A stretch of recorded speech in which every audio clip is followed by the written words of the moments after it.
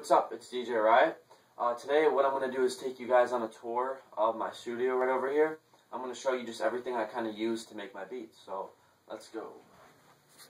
Alright, so right there, as you can see, that's my studio. That's what I use to make my beats. I'm just going to do a quick run rundown of everything I have here. So, um, as you know, there's probably these on right here.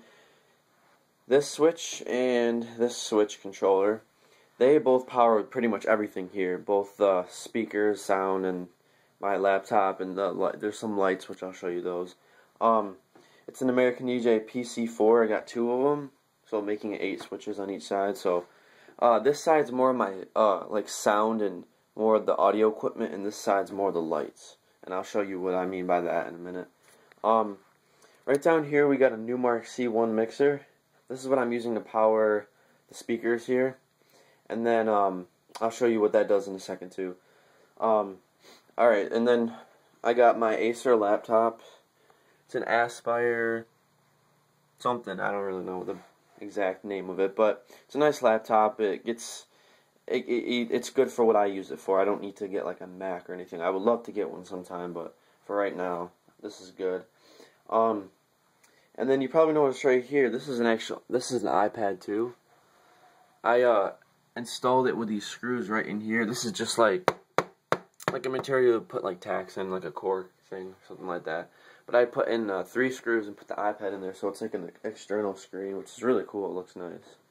Um, all right, let me move over to here quick. This is an Akai Professional MPD-18 uh, compact pad controller. Um, I don't really use this so much. I used to use it when I first started making beats, and now I just mostly do on FL Studio. Um, but this did come with um, Ableton Live, which I don't really use that, but maybe I'll start using it eventually. You probably notice right back here. This is a uh, it's called the JBL Flip. I don't use that with the studio stuff. That's just there for looks mostly, but I do use it like it's a wireless um, a Bluetooth speaker, so it's nice to have. You can take it anywhere with you. Don't worry about cords or anything. It's got a battery. Um, so let me show you what I use for my main speaker source, which is the Beatbox by Dr. Dre, as you can see. It, this is a really nice speaker.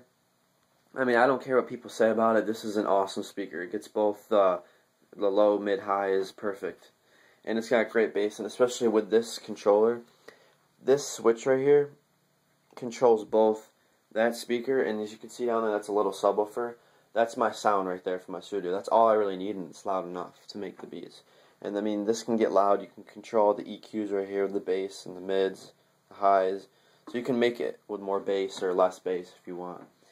These little speakers right here, they connect with that subwoofer, but I don't use those because those are really bad speakers. I mean, I would use them if they were good, but they're really bad. But the subwoofer is good, so that's why I use that for mostly my sound. And that's for my bass. That's what I usually do.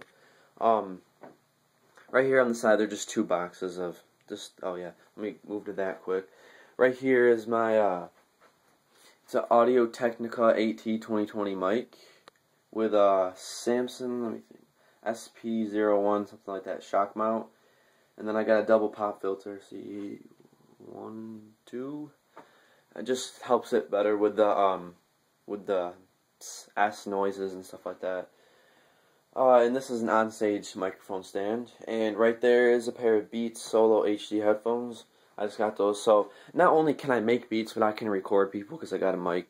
So it's kind of cool. I can do both, do both vocals and make a beat to it and stuff like that. So, um, and this little blue thing that controls the the speakers here, but I don't use them. But so that just that just powers the sub down there, and that connects all right back to that.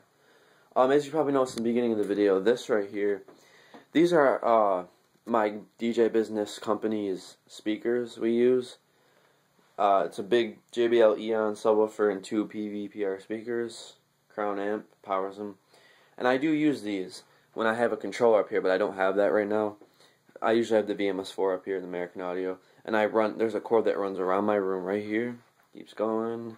And then it runs right to that controller. So I can control this switch right here to control the back, so I can have the front speakers on and the back, so I can have like surround sound. And especially when those are on, it's much louder in here because, as you can see, it's not a big. I don't have a big room, but it sounds really nice in here. So, So that's basically the rundown of my audio and stuff like that. Oh yeah, and if this is a little wireless mouse I like to use. Um, all right, now I'm going to show you this side right here. Hit that switch. You notice a little light comes on. It's just these LED strips. I don't know what they're really called. I forgot where I got them.